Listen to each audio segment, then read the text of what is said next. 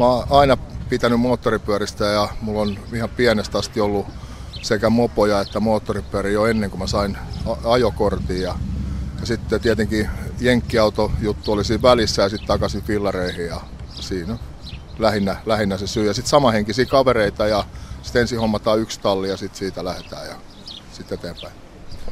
Minkälaista se toiminta oli tuolle niin alkuaikoina 90-luvun alussa? No vaikea sanoa semmoinen sopiva sana, mutta ehkä se oli aika rupista tähän verrattuna, että tota, ei tiennyt mistään mitään, kaikki piti opetella niin kuin kantapään kautta ja, ja ei ollut oikeastaan mitään malleja eikä mitään muita sellaisia, vaan se täytyy aika paljon itse tehdä niitä juttuja ja tietysti tehtiin paljon virheitä ja tehdään vieläkin, mutta tota, kyllä niitä on yritetty minimoida. Moottoripyöräkerhojen historia on aika väkivaltainen. Siellä on ollut kaikenlaista kahakkaa, että Suomen suurimmat kerhot on ottanut aika verisesti yhteen vielä ihan tässä 2000-luvulla. Minkälaiset suhteet Cannonballilla on tällä hetkellä noihin muihin suuriin moottoripyöräkerhoihin? Periaatteessa meillä on ihan hyvät suhteet kaikkiin moottoripyöräkerhoihin, sitten pieniä tai isoja. Että tällä hetkellä on ihan hyvä tilanne ja sitä yritetään ylläpitää sitten sen mukaan, miten on mahdollista, mutta tällä hetkellä ainakin onnistunut tosi hyvin ja mä oon sitten helvetin tyytyväinen. Onko olemassa mitään sellaisia paikkoja, mihin niin Cannonballilaisilla ei ole asiaa Suomessa? Ei ole sellaisia paikkoja, toivottavasti ei tulekaan. Miten sitten, onko Cannonball MCllä yhteistoimintaa näiden muiden isojen kerhojen, niin kuin Bandidoksen ja Hells Angelsin kanssa? Järjestättekö te vaikka kokoontumisajoja tai vastaavaa? Kyllä melkein on sille, että, että jokainen klubi järjestää niitä itse ja, ja sitten on tietysti jotain yhteisiä juttuja, esimerkiksi joku biker meeting tai jotain tällaista, mutta tota, kyllä ne melkein itse järjestetään ja sitten tietenkin me vieraillaan muiden kerhojen järjestämistilaisuuksissa ja muissa hyvinkin aktiivisesti. Mitä moottoripyöräkerhon johtaminen vaatii? Minkälaisia ominaisuuksia? Onko vuodet vieneet veronsa, että rupeako näkymään niin kuin kisaväsymystä tai vastaavaa? Tota, jos ihan rehellisiä ollaan, niin sanotaan, että 20 vuotta sitten ei ollut oikeastaan mitään tietoa, mit, mitä se tuo, tuo niin tullessaan ja muuta. Ja tota, kokemus tuo, tuo lisää, osaa nopeammin hoitaa, paremmin hoitaa asioita, mutta tota, No varmaan, varmaan kaikista tärkein tuossa on se, että, että kunnit luottaa muuhun ja luottaa mun, mun tota näkemykseen ja tekemisiin ja sanomisiin. Ja sitä kautta tietenkin sitten se klubikin tekee niin kuin pitää tehdä. No millaista on johtaa moottoripyöräkerhoa? jo, joskus erittäin vaikeaa ja joskus hyvinkin helppoa, mutta tota, se, se, että kun sä teet duunia niin sen yhteisön eteen tai tavallaan ja sitten sit just näistä onnistumisen kautta ne ruokkii sitä juttua eteenpäin ja ja tota, kyllä se, välillä se on tosi vaikeaa, koska on niin paljon yksilöitä ja niiden pitäisi toimia niin kuin yhdessä. Ja kyllä se vaatii sekä henkisesti että fyysisesti aika paljon. Et vaihtuvuushan pitäisi olla mi- minimissä ja siihen, siihen pitää pyrkiä ja valita jäsenet ja muut sen mukaan. No mikä on helpointa johtamistyössä? Mistä sä pidät eniten? Taas liian helppoa ei saa olla, sillä ole mitään haasteita. että koko ajan pitää olla, niin kuin, kun mäkin on semmoinen tavallaan työnarkomaani, että mä saan siitä tekemisestä sit niin paljon, että aina pitää olla haasteita eteenpäin ja hoitaa niitä vanhojakin asioita, että tota, mutta paikalle ei saada jäädä polkeen. Sulki on takana linnatuomio. Miten moottoripyöräkerhojen johtaminen onnistuu vankilasta käsi? No ei se oikeastaan onnistukaan ja se, se, sen, sen takia sillä aikaa useampi tyyppi hoiti niin kuin tavallaan mun asioita ja niillä oli omat, omat juttunsa, mitä ne hoitaa. Ja tota, ei, sitä, ei, sitä pysty, ei sieltä pysty mitään hoitamaan. No, Cannibal MC kuuluu niin sanottuihin prosenttiengeihin. Mitä se tarkoittaa? Mitä prosenttiengiin kuuluminen tarkoittaa? Tota, en mä, en mä tota ymmärtänyt ikinä tota prosenttisysteemiä sellaisena, mitä sitä käytetään nykyään. Et tota, et sehän on niinku, sen pitäisi pitäisi niin kuin näiden nykysysteemien mukaan tarkoittaa sitä, että se olisi niin kuin yhteiskunnan ulkopuolella, mutta silloinhan sun pitäisi asua jossain maalla ja vilinä peru, perunoita ja porkkanoita ja syödä siellä ja, ja olla käyttämättä minkäännäköisiä palveluja ja kaikkea muuta. Että eihän, sehän on ihan dorkaa, jos niin pitäisi tehdä. Eli cannonballilaiset kuuluu ihan osana yhteiskuntaa? No joidenkin mielestä valitettavasti, mutta kyllä kuuluu ja hyvinkin tiukasti. Voitaisiin puhua hetki noista liiveistä. Mä oon käsittänyt, että nämä liivit on todella tärkeä tunnus moottoripyöräkerholaisille. Voitko avata vähän, mitä nämä kaikki? Mä näen, sullakin on tuossa niin noita teidän Cannonball-logoja eri verran ja eri värisiä kuin muutamilla muilla jäsenillä, mitä mä oon täällä nähnyt. Ja sitten on, on näitä tota, merkkejä, omeltuja merkkejä. Niin voitko kertoa niistä vähän, mitä ne tarkoittaa kaikki? Jokaisen merkillä ja jokaisella systeemillä, mitä, mitä meidän liiveissä on, on, on, on joku merkitys. Ja yleensä, yleensä noista näkee sen aste, että missä sitä ollaan.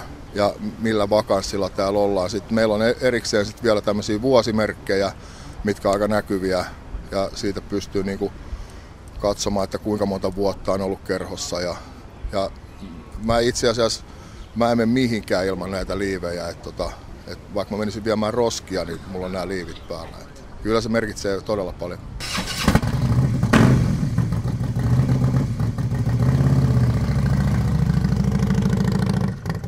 Make, sä oot Cannonball MCin Road Captain. Oliko vaikeaa järkätä tuommoinen pitkä letka Helsingin läpi? Se on aina haasteellinen tapahtuma. Tänään se onnistui hyvin, koska poliisi oli myötämielinen ja me saatiin etukäteen sovittua, että me ajetaan tämä yhtenä letkana katkaisematta sitä minnekään. Siinä on sellaisia puolia, että moni ei ymmärrä sitä, että jos tuommoinen pitkä letka menee, ensinnäkin se on tietenkin meidän kannalta tärkeää, että me saadaan ajaa yhdessä. Siinä on myös kaupungin liikennepoliittinen tilanne, että jos sitä letkaa ruvetaan katkomaan kahteen tai kolmeen osaan, siinä voi käydä huonolla tuurilla niin, että ensimmäisiksi valojen jälkeen jää henkilöt, jotka ei edes tiedä minne ollaan menossa, ne ei ole Helsingistä kotoisin. Se, se saattaa seuraavan puoli tuntia pyöri pitkin kaupunkia etsimässä määräpaikkaa tämä letka. Eli me pyritään aina pitämään meidän letka kasassa ja se on valitettavaa, jos siitä joskus on jollekin pientä harmia. Ärsyyntyykö tuolla sitten muu liikenne helposti? Tuleeko teille vaikka fingeriä tuolla keskustassa, että, että kun tällä tavalla nyt 40 prätkää ajaa tästä ja ei pääse menee? Suomessa tämä on äärimmäisen joustavaa ja kohteliasta, että ihmiset antaa tilaa ja ymmärtää ja näkee, mistä on kysymys. Ja 40 ei riitä mihinkään. Tänään oli melkein 80 pyörää letkassa mukana, mutta tuolla on maailmalla maita, missä on aggressiivisemmat ajokulttuurit ja se on välillä vaikeaa ja jopa vaarallista, mutta hyvin on selvitty kuitenkin. Onko jotain esimerkkitapausta, minkälaisiin vaaroihin siellä törmää, kun siellä isolla possella ajelee? Yksi, mikä ei koskaan unohdu, on, että me tultiin Saksassa sellaiseen suureen liikenneympyrään, mikä oli siis todella laaja ja suuri, eli nopeudet oli huomattavan korkeita verrattuna suomalaisiin liikenneympyröihin ja letka paino sisään vapaaseen väliin, mutta letka ei ollut loppunut, kun sieltä tuli rekan nuppi, jolla oli vauhtia lähes 100 kilometriä tunnissa. Sillä ei ollut pienintäkään aikomusta jarruttaa tai väistää, eli kundit onneksi ymmärsi, että se tulee ylle ja hidasti sen verran, että se pääsi menemään siitä ja kuroivat sen jälkeen meidät kiinni. Miten sä kommentoisit tätä, kun monesti pohditaan, että miten tällainen toiminta rahoitetaan ja sitä pidetään sellaisena niin salamyhkäisenä. Miten sä kommentoisit sitä? No siis tämähän on äärimmäisen yksinkertaista. Jos meillä on noin 100 jäsentä, aika ajoin niistä 5-10 kappaletta on työttömiä, 90 henkilöä on töissä normaalissa työssä, osa jopa aika hyvin palkatuissa töissä, sitten tullaan siihen, että miten on varaa ostaa moottoripyörä, niin sitten pitäisi kysyä, että onhan tuolla 4 500 000 muutakin ihmistä, että miten niillä on varaa hankkia moottoripyörää. Et meidän työssä käyvät ihmiset pystyy hankkimaan moottoripyöriä ja ajamaan niillä. Sitten jos puhutaan jostain klubimaksuista, niin siis siinähän puhutaan suuruusluokasta noin 100 euroa plus miinus joitain kymppejä, millä ylläpidetään meidän tallitiloja ja näitä yhteisiä paikkoja, missä me voidaan olla. Et ei, ei tämä ole sen kalliimpaa kuin joku punttisalilla käyminen, että jääkiekko on sata kertaa kalliimpi harrastus. Niin sä sanoit tuossa äsken, että jotenkin sillä, että kun jengi pitää moottoripyöräkerhotoimintaa salamyhkäisenä, mutta eikö se toisaalta ihan ymmärrettävää, koska, koska kuitenkaan kerhot, niin kuin tekään, te ette kerro kauheasti teidän toiminnasta näin niin kuin medialle ja ulospäin. Onhan tässä semmoinenkin puoli, että kymmeniä ja kymmeniä kertoja joidenkin sattumien yhteydessä media on kommentoinut aika tylysti meidän tekemisiä pelkästään poliisilta tulleiden tietojen perusteella kysymättä ollenkaan meidän mielipidettä, niin sehän johtaa aika helposti sellaiseen, että ei halua sanoa kellekään mitään. Pitäisikö median soitella teille niissä tilanteissa aina niin kuin enemmän? No ei se välttämättä olisi huono joskus soittaakin. Että. No, onko tässä hiljattain ollut sellaista tapausta, että olisitte päässyt otsikoihin huonossa valossa ja sitten teidän mielipidettä ei ole kysytty asiaa ollenkaan? Mulla on loistava esimerkki tähän. Mä en kerro yksittäistä paikkakuntaa enkä näin. Mutta otetaan tällainen esimerkki. Jaska ja Pena tappelee nakkikioskilla. Puolen tunnin kuluttua kaksi väsynyttä poliisia tulee kysyä, että mitä täällä on tapahtunut. Jaska ja Pena tappelee moottoripyöräkerhon pihalla. Jaska sattuu jopa olemaan tämän kerhon jäsen. Tappelu on kuitenkin sama kuin nakkikioskilla. Paikalle tulee kymmenen poliisiautoa ja panssarivaunu. Mä katson sen aika kohtuuttomaksi. Puhutko tässä nyt siitä Joensuun tapauksesta? No siitähän mä tässä puhun. Etusivu. Mitä tuolla Viipurin kadulla viime yönä tapahtui? Eli mä tulin just käymään tässä tallilla ja katsomaan, mikä täällä on meininki. Ja täällä on viime yönä tullut jotain ulkopuolisia henkilöitä ja ampunut tuohon meidän tallin oveen kaksi laukausta. Ja tässä ei ole meidän kerhon jäseniä millään tavalla mukana, vaan nämä on täysin ulkopuolisia henkilöitä. No onko sulla mitään käsitystä, mistä tässä voisi olla kyse?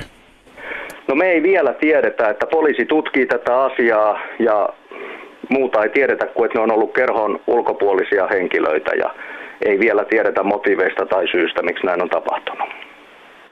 No teillä oli lauantaina noin 20-vuotissynttärijuhlat. Tapahtuuko siellä jotain sellaista, mikä olisi saattanut aiheuttaa tämän? Ei, meillä oli äärettömän onnistuneet bileet ja koko eilisen päivän mä vastaanotin kiitoksia siitä, kuinka hyvin juhlat meni ja kaikki osallistuneet oli hyvin tyytyväisiä. Eli siellä ei ainakaan tapahtunut mitään. Mä olin itse viimeinen, joka poistui juhlapaikalta kello 2.15 ja siellä ei tapahtunut missään tapauksessa mitään. Tämä, tämä liittyy kyllä johonkin sit ihan muuhun, mitä me ei vielä osata sanoa, mistä on kysymys. No onko sulla mitään hajua siitä, kuka saattaisi olla tämän hammuskelun takana?